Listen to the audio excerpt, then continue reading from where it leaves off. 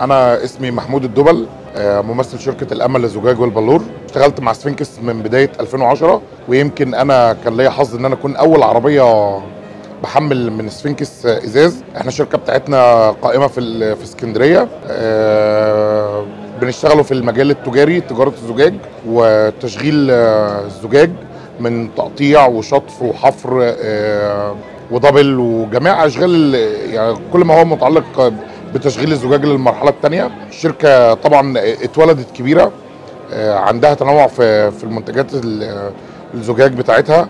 آه، أضافت يعني فكر جديد للسوق ال- المصري في مجال الإزاز. آه، كانت طبعا صاحبة تطوير في في المجال ده بأصناف كتيرة ومتعددة ما كانتش بتنتج قبل كده في السوق المصري. كانت أغلبيتها بتيجي استيراد سواء كان زجاج ملون أو زجاج عاكس وابتدوا يخشوا السوق بمنتجات جديدة ما ما ما ما كانتش موجودة في السوق قبل كده زي ال- الإزاز ال- ال Vista Clear Light.